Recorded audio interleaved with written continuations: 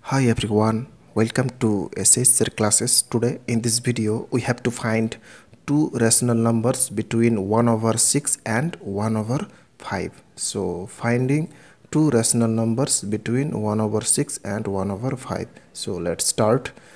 First of all write down here the given number 1 over 6 and 1 over 5.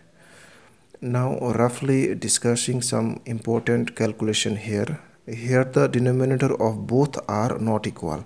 So first we have to find out the LCM of 6 and 5 and the product of 6 and 5 is the LCM here what should be multiplying with both number to get the denominator 30 so if you put here up and down 5 and here 6 then we can get 30 denominator. Okay so this is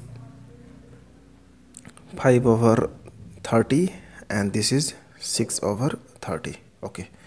Now for two rational numbers between any two number we have to follow this method. So we should multiplying with both fraction with up and down by 2 plus 1 equal to 3 so we should multiplying here and here with 3 up and down okay.